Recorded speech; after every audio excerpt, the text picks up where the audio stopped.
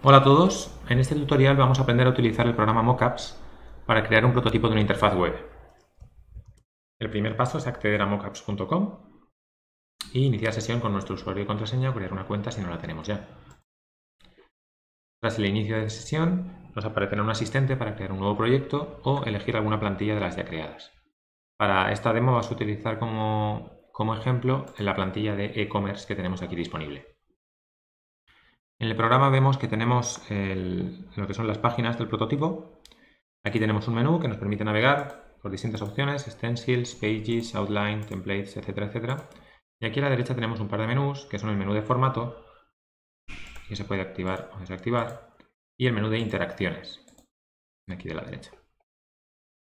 Aquí tenemos una serie de utilidades, si pulsamos aquí en la M, tenemos las opciones para guardar el proyecto, cambiarlo de nombre eh, o exportarlo en algún formato, como puede ser PDF, HTML o PNG.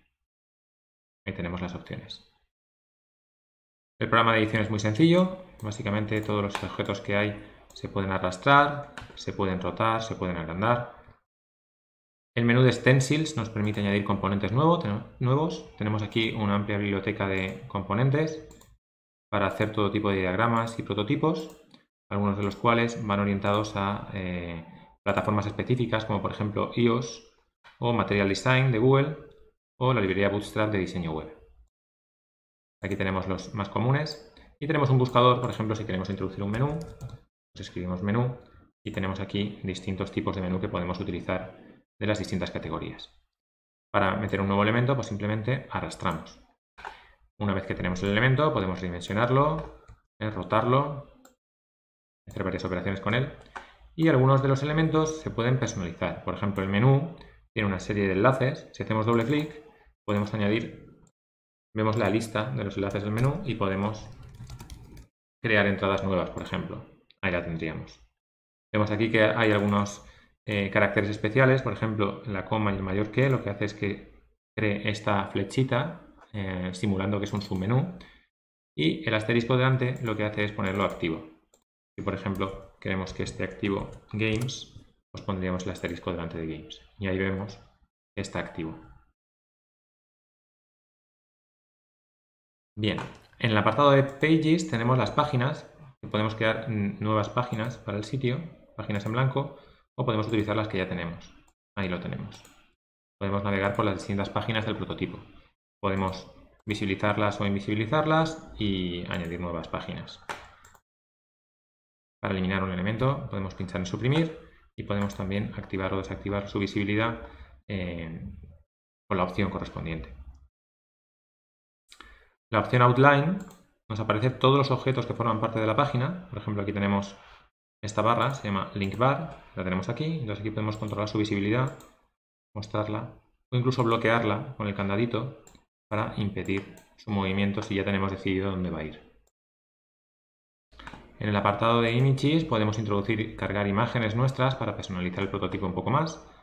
Y en el apartado de iconos pues tenemos una serie de iconos que podemos introducir también. Uno de los puntos más interesantes que tiene este programa es la capacidad de eh, hacer interacciones.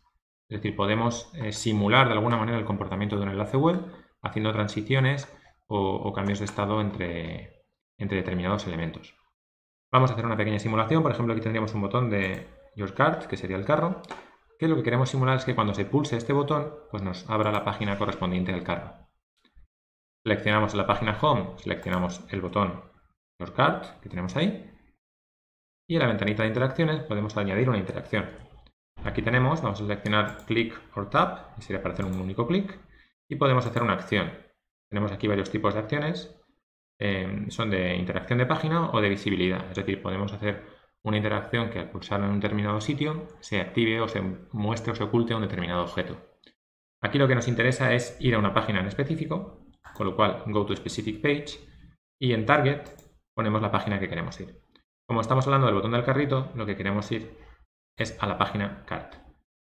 Una vez terminado, le damos a Done y ya tendríamos la interacción creada. Tal como se puede ver aquí, Go to Cart. Aquí podemos eh, editar la interacción de nuevo, copiarla o eliminarla. Para comprobar su correcto funcionamiento podemos eh, previsualizar el, prototipo. Aquí tenemos el botón de Preview, lo tenemos ahí. Si le damos, estaremos en modo eh, previsualización. Entonces aquí tenemos cómo se vería el prototipo y vemos que si pasamos el ratón por encima de Your Card, el, icono del ratón cambia y si pinchamos nos abre efectivamente la página correspondiente al carro. De esta manera podemos hacer un prototipo un poco más real y simular el comportamiento de la web.